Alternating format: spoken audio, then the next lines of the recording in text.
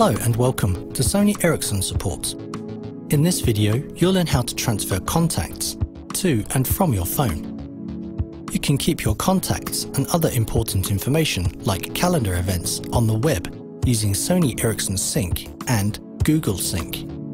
The benefits of this are that you have a perfect mirror of your data both on the web and in your phone.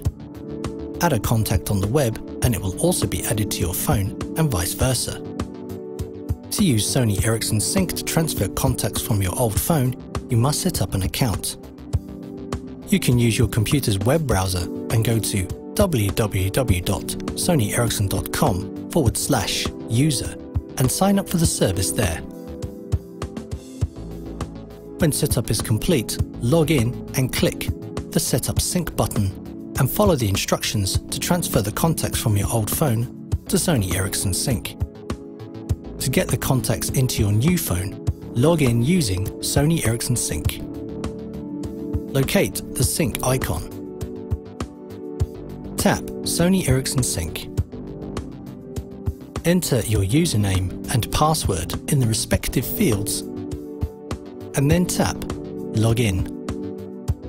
Once signed in, first set the sync interval.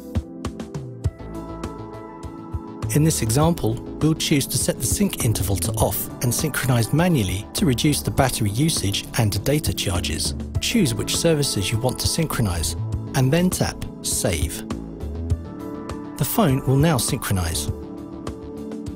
Next time you want to synchronize, simply tap this button.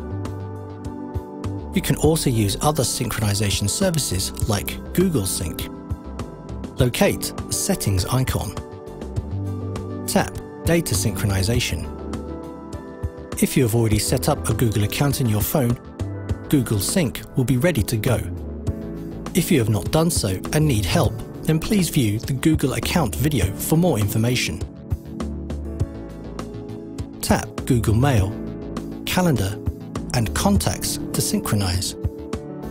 If you want the phone to synchronize automatically, mark the background data checkbox and then tap Auto Sync. Just a quick reminder that disabling these options and synchronizing manually will reduce battery usage and lower data costs. If you have other types of contacts, for example contacts from your email or contacts application, you can transfer these as well. You can save your contacts in vcard.vcf or .csv formats. For example, in your computer's email client, export your contacts list as a CSV file. Then, in your computer's web browser, log in to your Google account. Select the Contacts page and then click Import. Click Choose File, then navigate and select the CSV file. Finally, click Import. Once the contacts appear, repeat the synchronization process on your phone to transfer. If you are using Exchange Active Sync to store your contacts, there is an option included for that as well. Look for Road Sync in your Applications panes to get started. Thank you for taking the time to view this film. You'll find more information about your phone by visiting the Xperia X8 Support Zone, where you can improve your user experience.